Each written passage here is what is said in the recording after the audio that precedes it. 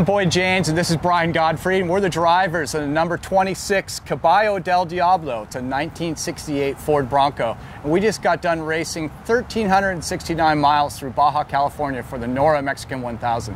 This year we got to try out the new BlackVue Dashcam DR900S. It's a new 4K model, and we got some killer footage recorded so many great moments going through uh, you know going through water crossings across dry lake beds passing other vehicles, passing accidents, oh, yeah. you know, and with that always recording and the way that the, the system just divides up those clips, when we went back to look for stuff, made it super easy. They're all they're all just subdivided off with different events or different file names. It was really yeah, cool. it was great. You could tell when we were parked and when we were running, so it made it easy to editing. You could go in and see what was going on at that time. You know, with all the things that we drive through, there's, there's dust in the cab, there is water coming in, there's the trucks going up and down, and we're getting all kinds of shocks and everything, every bump we hit, and, and they never missed a beat. And I had no idea that they were going to be as durable as they were.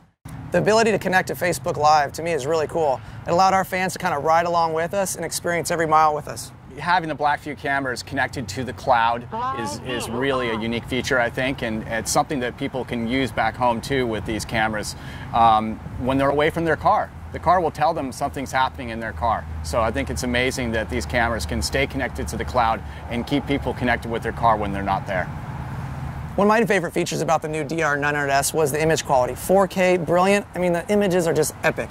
Really, really good. Even in low, low light when we were racing at night, I couldn't believe how good the images were that came out of it. The footage is just killer. I know most people aren't going to torture the cameras like we did, but it's nice to know that you can if you needed to, and they'll keep on recording all the time. Yeah, we got five days of footage, and we've cut up some different clips, so head to BlackVue's social media pages to check out more.